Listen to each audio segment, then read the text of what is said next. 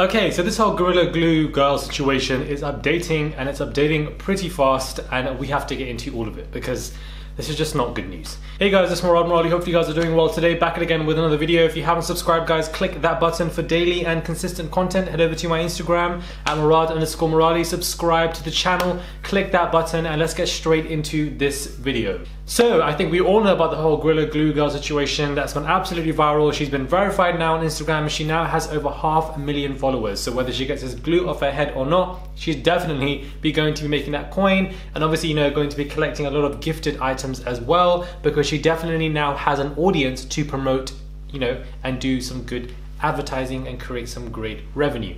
However, she has, you know, expressed in a statement. Gorilla Glue have also spoken out. Everyone's speaking out. Um, she's now considering a lawsuit, guys, to get out of this sticky situation. Not sticky. Tessica Brown hired an attorney and is weighing litigation against Gorilla Glue because whilst the product's label warned against using on eyes, skin, or clothing, it does not mention hair, the outlet reports. During Brown's weekend trip to the ER, healthcare workers put acetone on the back of her head, but instead of getting to the root of the problem, it burned her scalp and only made the glue gooey before hardening back up, according to TMZ. So going to ER, as she expressed, did not do anything. Gorilla Glue is aware of the, the, dilemma and tweeted a statement reading, We are very sorry to hear about the unfortunate incident that Miss Brown experienced using our spray adhesive on her hair. We are glad to see in a recent video that Miss Brown has received medical treatment from a local medical facility and wish her the best.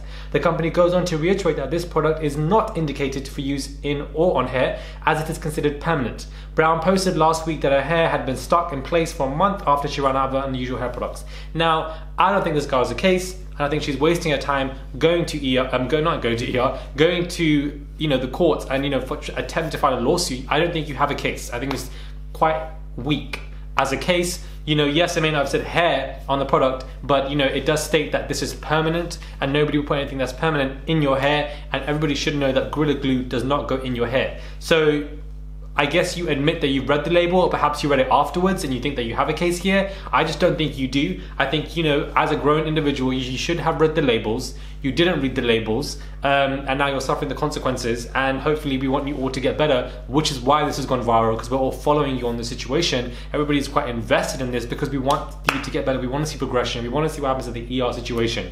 But at the same time, she also started a GoFundMe, and I don't think there's an issue with people, you know, donate, donating to her GoFundMe. I've seen plenty of other people who've had plenty of money donated to them for far less serious reasons. However, if you look at it from the other side and be unbiased, it was her own fault. She didn't read the, um, the, the label, so why should she be rewarded for her own mistake?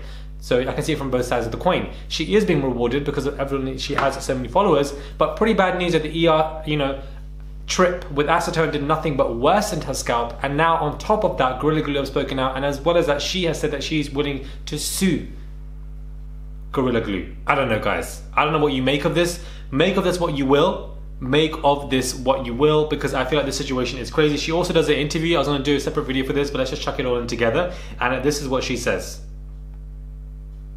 I guess the only time that you applied Gorilla Glue, at what point did you start to get worried that this may be a permanent thing or a lot more difficult to get out of your hair than you thought? Well, I guess about the second week after me trying to wash it out, I got with my sisters, I got with my mom.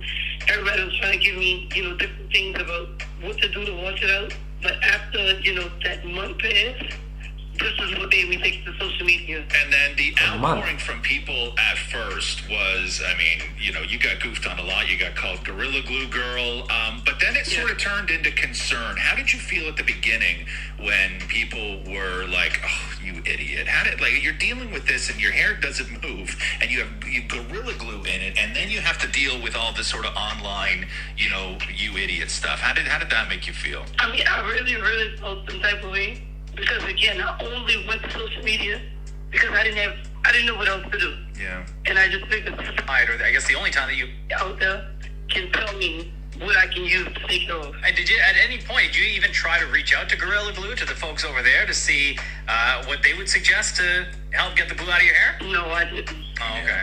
Did you try to shave it off? I, you can't even get a razor under there. Oh, wow.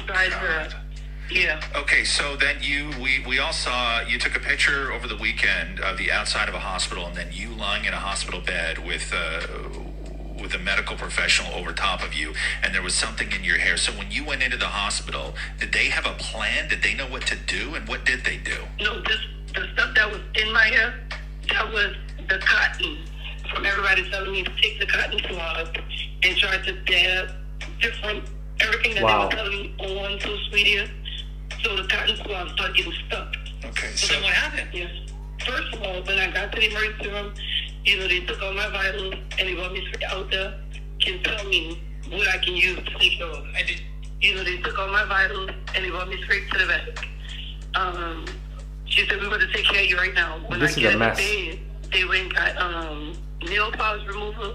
She got some saline water and they started to um, start on the back because I told her it wasn't that much spray in the back because I really couldn't see the back. It's more in the, the front. front. So she started right. with the back. Right, right. So when she started, like it started to burn. That's the problem. Saline water and tried to, you know. Cool That's the problem, guys. But it burned so bad to where my heart started beating too fast. Oh no. So she still stopped. And she told me it looked like she can do it, but it's gonna take at least twenty hours. Twenty hours? Two zero? That's yeah. nothing. Okay, so then what happened? So I, I, I asked them, you know, can I go home? You know, at least I'll be home and I'll be comfortable yeah. instead of just laying in the hospital bed trying to get it all out. They gave me some um, saline water.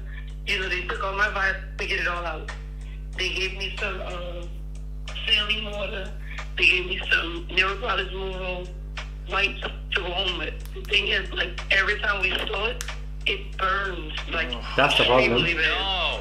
And you can't even get yeah. it to a point where it loosens the hair a little bit that you can then just shave it all off. And that's the point that I'm trying not to get to.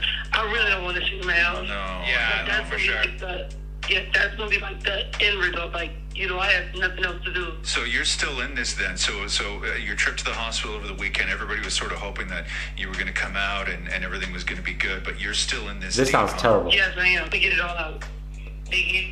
So, I mean, 20 hours is a long time of to be in pain. Yes, but in comparison to putting that on your head for an entire month, I feel like less than a day to take that off is going to be as bad as I thought it would be. But of course, the trip to the ER didn't prove anything successful. And the way the US healthcare system is set up, guys, you have to still pay for stuff like that. So she's back home, and now she's obviously at a point where she wants to sue Gorilla Glue. And I feel like there is no case there. I just don't see it in the long run. I honestly don't.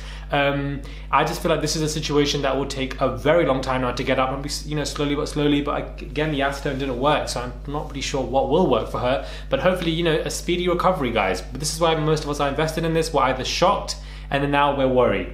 We're shocked and then we're invested. We want to know what the next step is. You know, what's going on, this, this, that. Everybody, it's like becoming a weird story that nobody really expected. But of course, I think her suing them isn't going to do much for her. And you know they've obviously tweeted out a statement as well, and we'll just see. I think the main concern for this girl is to get this off her head. Why would you leave her on for a month?